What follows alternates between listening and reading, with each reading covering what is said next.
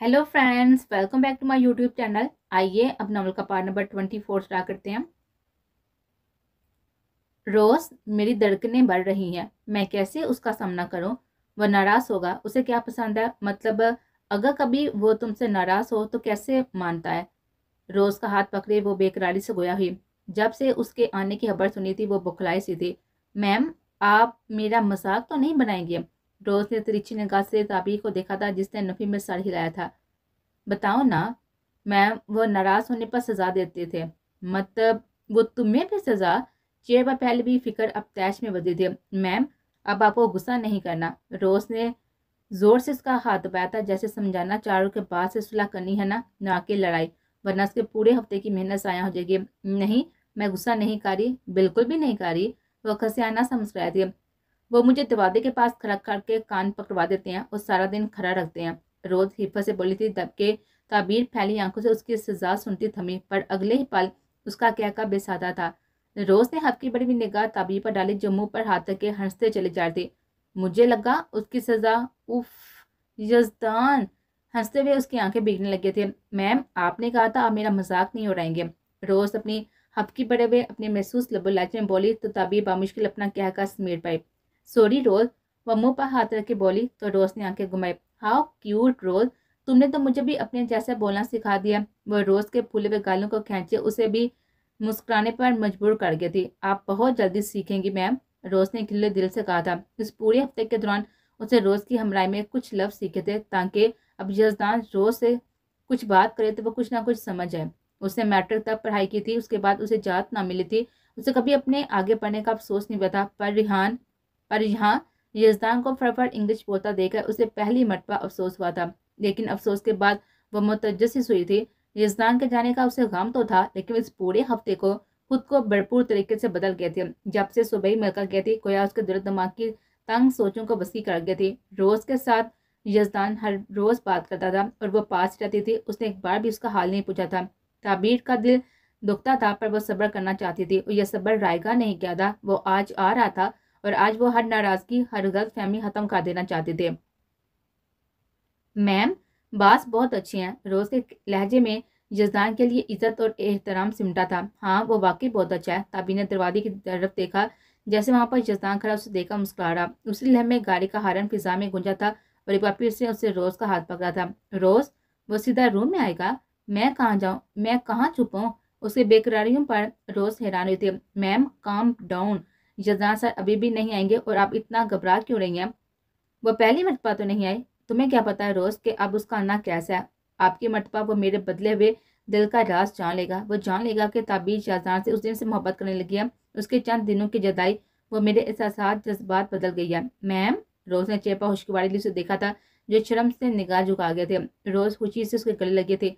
तभी की आँखें भीगने लगी थी, पर वह पलकें जबक कर आँसू अंदर ही उतार गए थे। इस वक्त उसे रोना नहीं, सिर्फ़ मुस्कुराना था। मैम, मैं आई एम सो हैप्पी जजान सर देखना बहुत खुश होंगे। वो आपसे बहुत मोहब्बत करते हैं। आपसे नहीं, बहुत पहले से। ताबी ने पल के चिपकाकर सास बार मिलाया था। मैम, मैं जाती हूँ। पास को आप डेट ना दी तो फिर मुझे सजा देंगे। रोज़ जुड़ती लेती बाई बागी। वो रोज़ की फुर्ती देती मुस्कुराई और खुद दीवार गेर आईने के सामने आ खड़ी थी अपना अक्स आईने में देखा तो हया से चेहरा शुरू हुआ। खुले सीधे बालों का हल्का सा कर दिया। उसने कांधे पर फैलाए और कान में मौजूद अबेसे कुछ हुआ जैसे खुद को तैयारी को मजीद संवारी हो। तुम्हारा दिल बहुत बुरी तरह से दुखाया था। दिल के जमों पर तुम्हारी ताबीर अपनी माफ़ी से मरहम रखेगी। उसे आईने में भी जजदान की बोलती हुई महसूस होने लगी थी। दिल बदला तो वह शख्स हर जन्म नज़र आ रहा था। अपने पागल दिल पर उसे गुस्सा भी आने लगा था। वो जिद चुपे बैठा बैठी क्या है जजदान ऐसे भी कोई किसी को अपनी मोहब्बत में पागल करता है? ठीक कहती हूँ मैं। तुम एक नंबर के चलाक इंसान हो। कैसे किसी को अपनी मोहब्बत में पागल करना है? ये तुम्हें अच्छे से आता है। लड़कियाँ ऐसे ही तुम्हारे पीछे नहीं आती। तुम्हारा अंदाज, तुम्हारी पर्सनैलिटी तुम्हारा ये पूर्णमदम संजीदा लहजा। कोई कैसे ना असीर हो, उनका भी कोई कसूर है कसूर तो सिर्फ़ तुम्हारा है। जो तुम इतने प्यारे हो पर सिर्फ़ मेरे हो। मेरे, ज़रा सा भी किसी के नहीं। गुलाबी पड़ते लबों की मुस्कुराहट फैलकर इतने दिनों की कलमंदी को ख़त्म कर था अपना आंचल चेहरे पर डाले वो बेड पर लेट गए। जैसे शैतान की निगाह से जकड़ लगे उफ! अगले बार वो अपना चेहरा छुपाते हुए शैतान का रिएक्शन सोचती शर्म से लाल हुए थे। सर वेलकम बैक रोज़ की मुस्कान पर वो बोझ जैसा मुस्कुराता इस वक्त उसे सिर्फ़ ताबी को देखने की तलब थी, पर रोज़ की भी वो क्लास लेना चाहता था। इसलिए पहले सीधा नीचे अपने रूम में आया था। कैसे हैं आप? मैं ठीक हूँ। पहले ज़रा तुम यहाँ मेरे सामने खड़ी हो और तुम भी यहाँ आओ। उसने बासत को उंगली से सामने करने को कहा था वह चेहरे पर तंदही लिए हुए सामने आया था। जबकि रोज़ भी अच्छे बच्चों की तरह सामने आ खड़ी थी सनम की दो दिन से कोई खबर नहीं। और तुम यहाँ पर आराम कर रही हो? जानते भी हो, वो लड़की के साथ तक हमारे लिए ज़रूरी है। मैंने पता करवाने की कोशिश किया पर कोई खबर नहीं है। बासत, मुझसे मार मत खा लेना। नोफल दांत पीछे गुरा था। बास वह हफ्के से नोफल शजदान को देकर आ गया था। आज ही वहाँ जाओ और सनम का पता करो। और उस दिन अगर वो माल में आई थी, ज़रूरी नहीं कि किसी गलत मकसद से आई हो। उसके बाद वो कहीं भी नज़र नहीं आई तो जैन साहब ने आपको बता दिया, जैन से मैंने खुद पूछा था, और मत बोलो कि वो हम सब का बास है। उसका हुक्म मानना हमारा फ़र्ज़ है। बासत ने आँखें घुमाई, जैसे जताया हो कि आप कितना हुक्म मानते हैं और कितना उन्हें बास मानते हैं। फजूल हरकतें ना करो अभी कभी निकलो। किसी भी तरह उस लड़की का पता करवाओ। मेरी नरमी का सब नाजायज़ फ़ायदा उठाने लग गया। उसने रोज़ को देखे हुए कहा, जो सर पटाए थे जी बास। वह भी वहाँ से निकला था जबकि रोज़ का रंग उड़ा था। अब उसकी शामत पक्की थे। रोज़? बहुत समझदार हो गई है। मेरी यह मौजूदगी का काफ़ी नाजायज़ फ़ायदा उठा लिया है। No pass? तो तभी मैं वो हर वक्त पास होती थी, इसलिए मैं बस उनकी थोड़ी सी हेल्प कर देती थी। मेरी बीवी अगर मुझे बिगड़ी भी मिली तो माड़ी है नहीं है। नेवर एवर बास वह बहुत ही अच्छी हो गई हैं। आप खुद में चेंज देखेंगे। रोज ने नफी में साहिला का वजाह देती देख लूँगा, अगर ज़रा से भी बिगड़ी नज़र आई तो सजा के लिए तैयार है ना। रोज़ जिन भी थे, परसों सुबह चार बजे एक इंपॉर्टेंट मीटिंग है और तुम भी वहाँ पर मौजूद होगे और कोशिश करना अपने हवास कायम रखना। मतलब उसने हैरानगी से जजदान को देखा, पता चल जाएगा। बस खुद को हर तरह से रेडी कर लेना। कल शाम मुझे ताबी के साथ जाना है, पर उसे अभी मत बताना। जी बास, वो उलझी तो थी, पर फिर साथ झटक गई थी। अब जरा पूरे हफ़्ते की डिटेल बताएँ। नौफर ने तरसिया कहा तो वह हिफाजत सी उसे ताबी के पूरे हफ़्ते की रूटीन बताने लगे, जिस सुनकर वह मुश्किल अपनी मुस्कुराहट पर काबू रख पाया था। यजदान, उसे दरवाजे के फ्रेम में देखकर ताबीर सराय से उठी थी जबकि दिल के दरकन कानों में सुनाई देने लगे थे। कब से यही सोची हावी थी कि वो कमरे में आएगा तो बेकरार से उसके जन्म पड़ेगी। उसे अपने अमल की माफ़ी मांगेगी, पर सब तदाबीरें उल्ट हो गए थे। वो सामने आया तो कदम इस ज़मीन ने झुका लिए थे। हम्म कैसी हैं? वह उस पर एक निगाह डाले, काउच पर जा बैठा था। ठीक, तुम तुम कैसे हो? वो लब का कोना दबाती बामिश बोली हम्म ठीक, पहले से बहुत बेहतर। शाह उस कागज़ ने ताबी को जिताया था, अच्छी बात है ताबी को उसका अंदाज बेगाना से लगा था, वो ऐसा तो नहीं था। और क्या मसरूफियत थी? किसे तंग किया, किस पर शक किया? रोज ने बता तो दिया था कि मैं अपनी माम से मिलने गया था। जजदान का संजीदा लबो लहजा उसकी जान हवा करने लगा था। जजदान ऐसा भी नहीं है, बस मैं गलत फहमी जजदान ने फ़ौरन हाथ बुलंद करके उसे बोलने से रोक दिया था। आप मिलना चाहती थी? इसलिए यहाँ आ गया। अगर कोई खास काम है तो बता दें। इस वक्त मैं सिर्फ़ आराम करना चाहता हूँ। वो अपनी पेशानी रगड़े बेजारी से बोला यजदान उसी बेगानगी पर उसका दिल अब बेचैन हुआ था। पर आज जब उसे हर हाल में मना लेना चाहती थी हम्म बोले? वो मोबाइल की स्क्रीन में खुद को मसरूफ कर चुका था। तभी को उसका नजरअंदाजी का शिद्दत से एहसास हुआ था। उसने खून हवा नज से उसके मोबाइल को देखा, जो इस वक्त नौफल जजदान को तबीर से भी ज़्यादा ज़रूरी लग रहा था। तुम्हारी मामा कैसी हैं? और क्या हुआ था उन्हें? हाँ? जजदान ने आबे उचकाए पूछा, जैसे उसकी आवाज़ ठीक से सुन ना पाया। मैंने तुम्हारी मामा का हाल पूछा वो दांत पीस कर उसके लबों पर जबरी मुस्कान से जाए उनके गले में इन्फेक्शन था, काफ़ी फैल गया था तो एक छोटा सा ऑपरेट था। अब वो ठीक है, एक दो दिन में वापस आ जाएँगे। तो तुम इतने दिन कहाँ थे? उन्हीं के पास था, और एक दो मीटिंग्स थे। उसका अंदाज सादा सा था, पर तभी को हथरे की घंटी की तरह लगा। मीटिंग्स व बड़बड़ाई। जिसदा ने बुरी आँखों का सर तास उस पर डाला था। नहीं मैं तो कुछ नहीं कह रही। वो कांधे उचकावे खसियाहट का शिकार है। जाऊँ मैं? वो बेजारी से बोला तो ताबीर संजीदा तुम आप भी नाराज़ हो। उस दिन मैं बिलावजा शाह फजूल बोल गई। हाथों की उंगलियों को चिटाती हुई जिस्तान को हदजा प्यार लगी थी, पर दिल पर उसके लफ्ज अब भी बुरता से नक्श थे।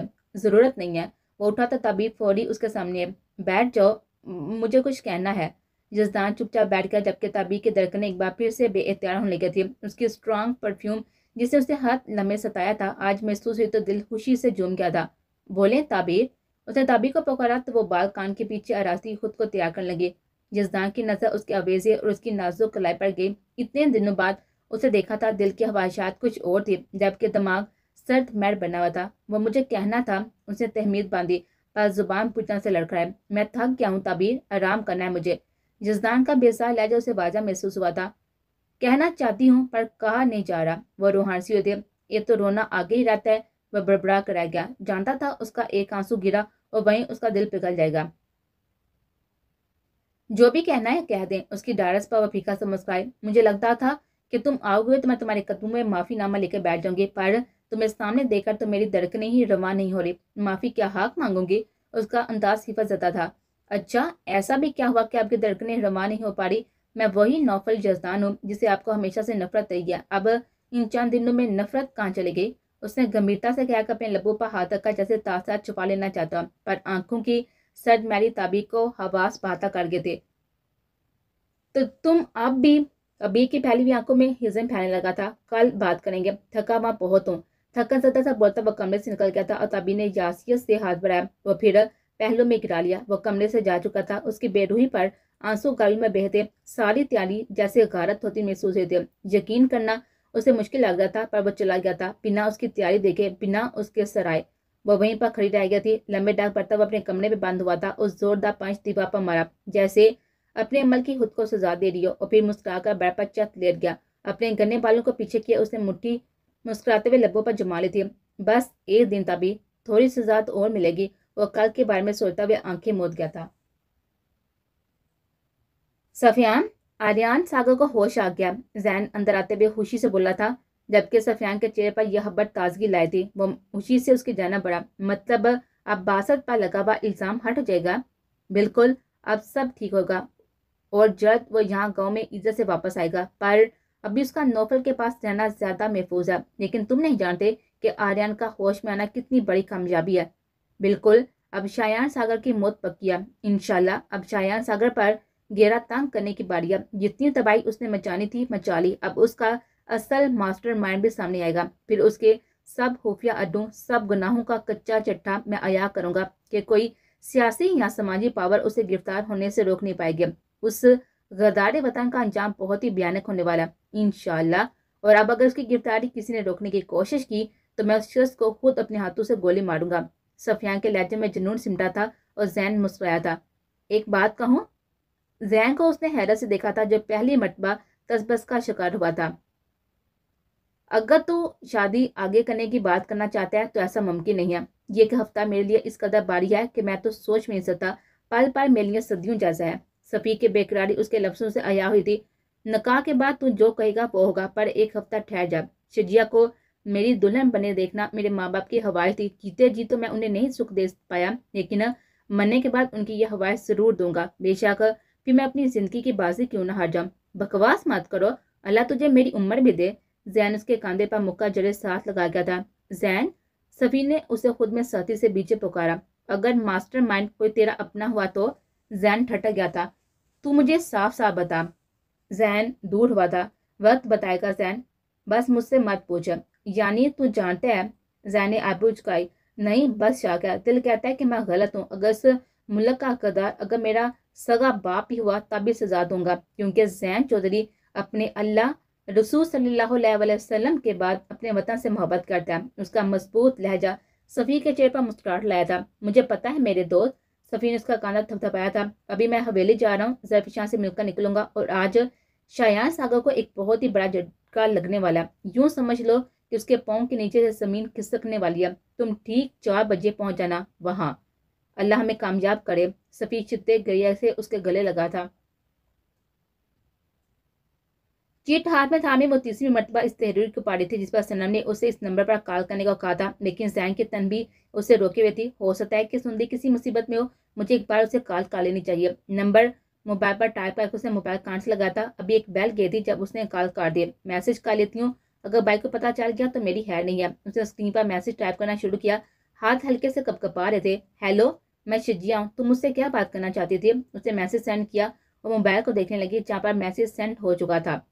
शिजिया, सदीका बेगम के वहाँ पर वसीदी हुई उसे ना जाने क्यों वहम सा हुआ था? जब भी वो शाया सागर के जन्म बनना चाहती थी, कोई ना कोई आकर उसकी राह में हलट डाल देता था। पहले सफ़ीर, फिर जैन का और आज सदीका बेगम का ना उसे किसी बटकी राह से दुरुस्त राह पर लाने जैसा लगा था। क्या हाल बनाया हुआ ऐसा तो मेरी बेटी शादी पर ज़रा भी प्याली नहीं लगेगी। ये दर्द जान नहीं छोड़ता, फिर कुछ भी करने को दिल नहीं चाहता। मुझे तो डर लगता है अम्मी कहीं सफ़ीर तंग ना आ जाए। वह नमसी अबाब में बोले, मेरी बच्ची, ये भी जल्द ठीक हो जाएगा, पर खुद का ख्याल रख। कुछ दिन तो बाकी हैं और सफ़ी की तो की तू फ़िक्र ना कर। सफ़ी भले मुझे पसंद नहीं था, पर अब मेरा दिल मुतमिन है। तेरे साथ इतना बड़ा हादसा हुआ, कोई और शख्स होता, इतनी बड़ी कमी के बाद तुझे छोड़ देता, पर उसने तो कदम कदम साथ निभाया। सिद्दीका बेगम के दुरुस्त तजिए पर शिजिया बोझा सा मुस्कुराई थी ठीक तो कह रही थी वो, सफ़ी ज़्यादा शख्स ही तो था जो इस जैसी नक्चड़ी बदतमीज लड़की को संभाल सकता था। एक बार फिर उसके जेर में सफ़ी ने अपना कब्जा जमा लिया। मैंने शहर से एक ब्यूटिशियन को बुलाया, वो तेरा रंग, रूप सवार देगी। मेरा दिल नहीं जा रहा उसने नफ़ी में साहिल लाया। बेजारियत और कलसमंदी वजूद में तारी होने लगी थी। फजूल बातें ना कर, बस कुछ दिन है, फिर तू मेरी बेटी प्राया हो जाएगी। उसकी पेशानी चुम्बे वरना आँखों से मुस्कुराए थी अभी सिर्फ़ नकाह हो रहा है, अम्मा, वो घबराए थे। हाँ नकाह ही हो रहा है। सदीका बेगम ने खुद को संभाला था। अम्मा, बाबा क्यों नहीं आते मेरे कमरे में? शजिया के स्वाबस का रंग उड़ा था जबकि शजिया तलस सा मुस्कुराए थे। ऐसे ही काम में काफ़ी मसरूफ़ है। आजकल पंचायत के फैसलों में खुद को मसरूफ़ किया हुआ है। मैं कहूँगी कि तुझसे मिल ले आकर। मैं जानती हूँ अम्मा, वो नहीं आएँगे। वो सिद्दीका बेगम को नज़रें चुराने पर मजबूर कर गए थे। शजिया, अंदर आती हुई जरफिशा सदीका बेगम को देखकर घबराए थे जबकि उनका भी शदीद नागवारियत ने घेरा था। उसका खिला खिला सा रूप उन्होंने वाजा महसूस किया था। जैन की हमराई उसके हुसन को मजीद निखाने लगे थे। मैं बाद में आ जाती हूँ। जरफिशा ने कदमों वापस हुई थी। जाने दे उसे। इस लड़के को देखकर मेरा खून चलता है। शज्जन ने हाथ बढ़ाया था पर सदीका बेगम उसे रोकती नागवारी से बोले, वो चेहरे पाया पसीना साफ़ करते अपने कदम आगे बढ़ाने लगे जब सामने से आते जैन से टकरा दिए उसके हाथ में मौजूद मोबाइल ज़मीन पर गिरा था।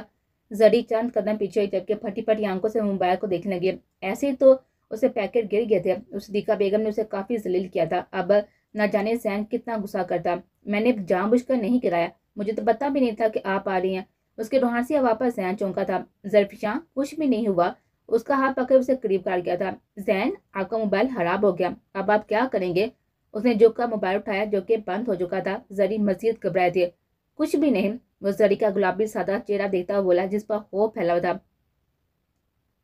मेरी वजह से हुआ है, मैं कितनी पागल हूँ। ध्यान पता नहीं कहाँ रह करती हूँ। उसे रोने की तैयारी पकड़े देकर उसकी कलाई थामे कमरे में ले आया था। जरफिशां की सुसु शुरू हो चुके थे। ये देखो, बिल्कुल ठीक है मेरा मोबाइल। उसने स्क्रीन सामने की तो जर ने बीगी आँखें रगा का देखा, जहाँ पर जरफिशां की तस्वीर मौजूद है उसकी बेखबरी में ली गई तस्वीर, जहाँ वो अपने बालों को कान के पीछे करते हुए निगाह झुकाए हुए हल्का सा मुस्कुराए थे। तस्वीर काफ़ी खूबसूरत थी। जरफिशां को यकीन ही आया था कि उसकी तस्वीर है।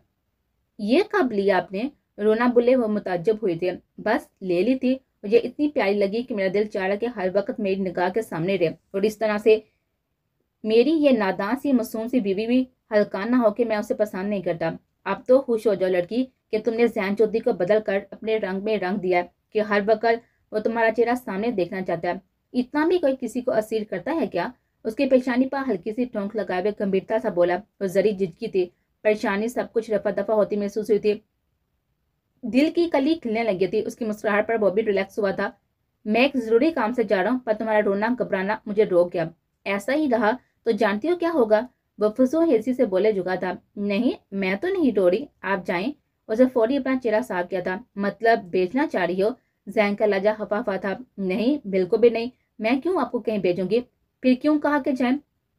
आपने तो कहा था कि ज़रूरी काम से जा रहा हूँ, पर मैंने आपको रोक दिया। जैन को उसकी घबराहट मज़ा दे दी।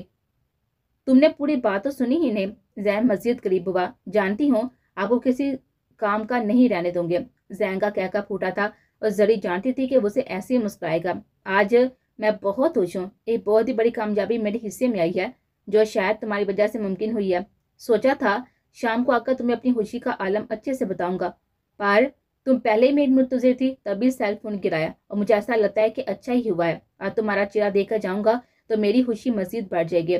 मैं इतनी भी हास नहीं हूँ। उसकी मोहब्बत, उसके लफ्ज सरफिशा को मगरूब बनाने लगे थे। आकर बताऊँगा कि तुम कितनी हास हो। उसके गल से लाए वो दिल फरीबे से बोला था। उसका जो मैंने अंदाज उसे बुखलाने पर मजबूर कर गया था। आज मैं थोड़ा लेट आऊँगा, अपना ख्याल रखना। रखी को तुम्हारी हिफाजत का सीमित दे दिया है। जो कहना हुआ, उसे कहना। अपने आप को किसी काम के लिए हल्कान मत करना। उसके पेशानी को चुमे, उसे हदायत देने लगा था और जरी ने असबाब में सज लाया था। वो मुतमिन हुए मुड़का दवादी की तरफ़ बढ़ा था, पर न जाने दिल में एकदम हलचल सी हुई थी। उसने अपना हाथ सीने पर रखा तो धड़कने तेज हुई। उसकी जाना बाया। जरी ने हैरानगी से उसे देखा। क्या हुआ? जरी अपना हया रखना मेरे लिए, अपने जैन के लिए। उसे सीने से लगाए वो बेकरारी से गोया हुआ था। मैं रखूँगी। उसे निगाह उठाना मुश्किल हुआ था। उसकी कुर्बत। पर अक्सर ही वो घबरा जाती थी। मेरी आँखों में देखो उसे सरी का चेहरा प्लान किया तो वो लजरती पलकों के साथ ही उसके हुबरू बाहरोब चेहरे को देखने लगे। जैन का दिल मजीद बेकरार हुआ था। मेरा दिल नहीं चाह रहा कि तुम्हें छोड़कर जाऊँ। नहीं, आप जाए, मेरी फ़िक्र मत करें, मैं अपना ख्याल रखूँगी। जैन ने बामुश्किल से बाब में लाया दिल कह रहा था कि ना जाए, पर आज जाना भी ज़रूरी था। फ़र्ज़ भी तो ज़रूरी था, और अगर कभी फ़र्ज़ की हाथा अपनों से दूर भी जाना पड़ता है आज जैन को पहली मरतबा ये एहसास हुआ था कि वो अपनी ज़िंदगी को हथनों के दरमियान में छोड़कर जा रहा था। उसे होश आया तो खुद को बेपर महसूस किया। वह हवास बहाल करने लगे थे। जैन बेदार हुआ तो सब कुछ याद आने लगा था। गर्दन में शदीद दर्द था जबकि सर उससे भी ज़्यादा बाहर था। जिसम बेजान महसूस हुआ था पर हिम्मत मुजतमा की वह कोहनी के बल उठने लगे थे। पर शायान को देखकर उसकी चीख निकले थे। तुम्हारा भाई हो, सनम, इतना क्यों डर रही हो? शायान फ़िक्र से बोले, उसके पास आया था। मेरे पास मत आए। वो पीछे किसके थे? मैं कुछ नहीं कहूँगा। बस मुझे शजिया ला दो। वो ले आओगी तो तुम्हें आज़ाद कर दूँगा। भाई, आप अच्छा नहीं करे वो मासूम है। प्लीज़, ये सब मत करें। उसकी शादी होने वाली है शायान को सामने फ़ौरन बने खड़े देकर वो थकन सदा सी बोली थी। काल के बाद उसकी हिम्मत ही खत्म हो गई थी। तुम्हें अपने भाई से ज़्यादा उस लड़की की परवाह है? क्या तुम्हें अपने भाई की मोहब्बत का अंदाज़ा नहीं है? मैं उसे दिल जान से चाहता हूँ जनून बन गई है मेरा। और तुम अपने भाई का दिल तोड़कर उसे दरिंदा बना देना चाहती हो? शायान सागर लाचारगी से बोला और सनम उसके अंदाज पर कराहत महसूस हुए थे। क्या था वो शख्स? वो कभी समझ नहीं पाई थी जब पता चला तो खुद पर अफसोस करने के अलावा उसके पास कुछ नहीं था। आप दरिंदे ही हैं। आपने अन्ना मापी को मार डाला, अपनी बहन को मार दिया। आपसे बड़ा दरिंदा कोई नहीं हो सकता। तुम अपने भाई पर शक कर रही हो? उसे दरिंदा कह रही हो, सनम? वो मसूमियत से बोला था, शक नहीं, यकीन है अब मैं जान गई हूँ कि आपने क्या गुनाह किया है। वो चीही थे। सनम, बुरी बाप, बड़ा भाई हूँ तुम्हारा और छोटे मोटे गुनाह, ओप्स, गलतियाँ तो इंसान करता ही रहता है ना। आम अंदाज में बोलता उसने शाने उचकाए थे, वो आपकी बहन थी भाई और आपने गलती ने गुनाह किया है। अपनी ही बहन को सनम के आँसू बहे थे। उसके गलत राह का इंतहा किया था जिसकी सजा मौत है। क्या आपको जरा भी रहम नहीं आया था? तुम अगर मेरा काम बिगाड़ोगी तो मैं तुम पर भी रहम नहीं खाऊँगा। सनम ने तनफर से साथ झटका था अच्छा है कि मैं मर जाऊँ क्योंकि जो गुनाह मैं कर चुकी हूँ उसके बदले तो मुझे दर्दनाक मौत मिलनी चाहिए। हम्म, ये काम मैं बहुत जल्द करूँगा। तुम परेशान मत वैसे माँ ने अच्छा नहीं किया तुम्हें सच बताकर। काश वो मेरी माँ ना होती तो आज वो भी अनम के पास होती। भाई वो आपकी माँ है। सनम उसकी सफाकियत भाई बार फिर से चाहिए थी उसका दिल जैसे खौफ से सुख रहा था। शाया ने आगे बढ़कर सनम के सूरज चेहरे को देखा था जो खौफ से पीछे खिस गया। शुक्र करो कि वो मेरी माँ है, तुम मेरी बहन हो, वरना शायान सागर वो दरिंदा है, जिसके दिल में अपने लिए भी कोई रहम नहीं है, और तुम तो फिर मेरी बहन हो। अब तक तुम सलामत उसके पीछे भी मेरा एक मकसद है, वरना अब तक तुम्हारे टुकड़े करके मैं कुत्तों को खिला चुका होता। उसके बाद मुझसे जकड़े वो वैश्य से घुराया था, मैं अब आपके किसी मकसद को कामयाब नहीं होने दूँगी। शाया ने उसके बालों का मजीद शिद्दत से जकड़ा, सनम की खौफ व दर्द से चीख निकले थे। एक पल के लिए उसे लगा के बाल जड़ से उखड़ जाएँगे। तो फिर, तुम अपनी माँ को खोने के लिए तैयार है ना? शायनस के बाल जोड़कर उसे झटका दिया था। उसका सर पूरी तरह से करोड़ से लगा था। वो दर्द से करा कराई गई थी। आँखों के गिर्द एक बार फिर से अंधेरा छाने लगा था। नहीं भाई, आप कुछ नहीं करेंगे। वो सर पर हाथ रख फरियादी हुई थी, पर शायन उसे नजरअंदाज किए उसका मोबाइल चेक करने लगा। वैसे, मुझे हैरत हो रही है कि उसने अब तक मैसेज क्यों नहीं किया? अब उसके वजूद में बेचैनी बढ़ने लगी थी, लेकिन वो सनम के सामने ज़ाहिर नहीं करना चाहता था। अल्लाह करे कि वो कभी भी मेरे नंबर पर मैसेज ना करे। आप जैसे दरिंदे से अल्लाह उसकी हिफाजत ज़रूर करेगा। शाया सागा का क्या का गुंजा था पागल लड़की, तुम्हें क्या मेरे चेहरे बेवकूफ़ लिखा नज़र आ रहा है? देखो, गौर से देखो, अपने भाई का चेहरा। चार साल से आजादाना घूम रहा हूँ। आज तक किसी की ज़रूरत नहीं कि शाया सागा को पकड़ सके। दोबारा जेल गया था। दोनों बार आवाम ने वो तबाही मचाई के फोर्स में छोड़ना पड़ा। और तुम मेरी बहन, जो बको तुम्हारे भाई को अच्छे से जानती है, उसे भी पता नहीं चल सका कि मैं क्या हूँ। तो बाकी दुनिया कैसे मेरा कुछ बिगाड़ सकती है? और शजा चौधरी को हासिल करने का ज़रिया ये मोबाइल बनेगा। कतई नहीं चाहूँगा तो अभी इसी वक्त उसे उठा लूँगा। पर मुझे उसके दिल से खेलना है, उसके बाइक को तड़पाना है। उसे खुद से मोहब्बत पर मजबूर करना है। जितनी मोहब्बत मैं उससे करता हूँ, उससे ज़्यादा वो मुझे चाहेगी और चाहते चाहते जान से चली जाएगी। और इस काम के लिए थोड़ा सब्र तो करना पड़ेगा। उसका अंदाज आम सा था पर उसकी सफाकियत कुड़ कुड़ कर बड़ी होती है। भाई अल्लाह को कभी माफ़ नहीं करेगा, कभी भी नहीं। वो अपने सर पर हाथ तक के बोझर बंद होती आँखों से शाया को देख रहे थे, जिसके चेहरे पर दरिंदगी साफ़ साफ़ नुमाया हो रही थी। सनम की बंद को इतमान किए वो बाहर निकला जब मुबाब होती बीप ने उसे हैरान किया था और फिर उसकी पेशानी खुशी में बदलने लगे थे। शाम को सागर बिल्ला ले जाना उसे और हाँ पैरा सत कर देना, किसी को शक नहीं होना चाहिए कि सनम कहाँ है। अपने हाथ आदमी को हुक्म देते वो कमरे की तरफ़ बढ़ा था।